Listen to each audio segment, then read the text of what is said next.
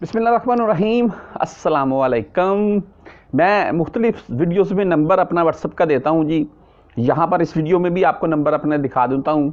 आप मुख्तलिफ़ मसाइल को लेकर भाई मुझसे रबता करते हैं। हरूब है, नकल कफाली के मतलब मतलूब है, या खरूज लगाया लगाया हुआ कफ़ील ने या इकाम एक्सपायर है और पाकिस्तान आना चाहते हैं। पासपोर्ट एक्सपायर है, क्या करें? पासपोर्ट गुम हो गया, क्या करें? मैं ये बातें क्यों कर रहा हूँ? आपको इसी के मतलब बताने वाला हूँ। इकामा गुम हो गया क्या कर एक भाई ने मुझसे अब तक ये इकामा गुम हो गया भाई न्यू मैंने उनको बता दिया जी ऐसे निकलेगा ठीक है? तो अल्हम्दुलिल्लाह जी बहुत से भाई रब्ता करते हैं उनको रिस्पॉन्स भी मिलता है खरूज का पेपर चाहिए हो मतार का पेपर चाहिए हो या कोई भी और पेपर आपने निकलवाना हो मतार के पेपर के मतलब मैं मुख्तलि वीडियोज़ में बता चुका हूँ बेसिक इंपॉर्टेंट चीज़ है यार।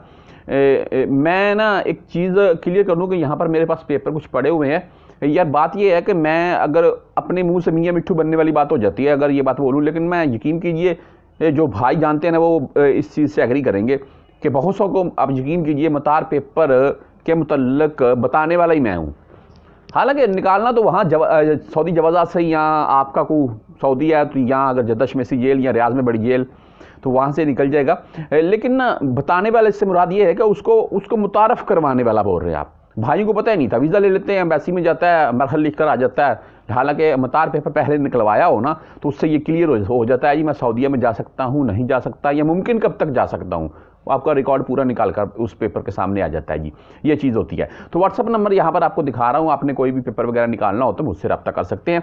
आज की जो मैं आपके साथ ये ट्वीट शेयर करने वाला हूँ, ये परदेशियों के लिए, खासकर पाकिस्तानियों के लिए खास वीडियो है, जी। उसकी वजह ये है, जी काम एक्सपायर है, तब भी आपने काम एक्सपायर है पाकिस्तान जाना है, तब भी आपका हरूब है आपने पाकिस्तान जाना है, तब भी आपका हरूब है आपने नकल फला करवाना है, तब भी आपके कफील सैलरी नहीं दे रहा है, आपके कफील आपको खरूज नहीं लगा रहा है, आपने कंपनी से भाग गए हैं, या बदून कफील काम कर रहे हैं, या पासपोर्ट एक्सपायर है, या पासपोर्ट गुम हो गया है तमाम मसाइल को लेकर आप इनसे मिल सकते हैं। किन से यहाँ पर आपको जो पिक्चर दिखा रहा हूँ मैं, ये है जी काउंसलर टीम की मदीना मुनवरा में आमद। अभी टाइम टेबल भी सुन लें। ये जो तमाम मसाइल मैंने आपको बताए हैं, आप इनसे मिल सकते हैं। इकामे वगैरह एक्सपायर हो तो पाकिस्तान कैसे जाना है? हरूब है, पाकिस्तान कैसे जाना है?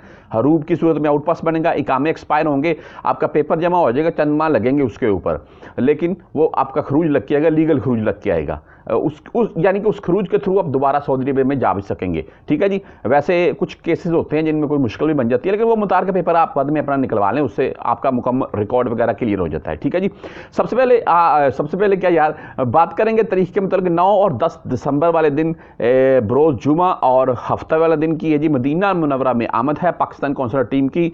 ठीक है जी? जुमे वाले दिन का टाइम सुन लें, साढ़े आठ बजे से साढ़े ग्यारह बजे तक है और दोपहर ढाई बजे से शाम पाँच बजे तक है। ठीक है जी। अगर हफ़्ते वाले दिन की बात करें, यानी कि दस दिसंबर वाले दिन की तो ये साढ़े आठ बजे से बारह बजे तक, साढ़े आठ से बारह बजे तक बैठेंगे हफ़्ते वाले दिन। मुकाम पाकिस्तानी हाउस मदीना मुनवरा रबता नंबर यहाँ पर देख रखें आप, किसी टैक्सी वाले को बोल देंगे, पाकिस्तानी हाउस मदीना मुनवरा में जाना, जहाँ पर सफार की टीम बैठती है। बड़ी बिल्डिंग है, पाकिस्तानी हाजी भी ज़्यादातर वहाँ पर ठहराए जाते हैं। तो आपको वो टैक्सी वाला भी ले जाएगा। आपको मदीना या इर्दनवा कहीं भी आप रहते हैं, अपना कोई भी मसला जो मैंने आपको गिन कर बता दिए हैं, आप इनसे ज़रूर मिलिएगा।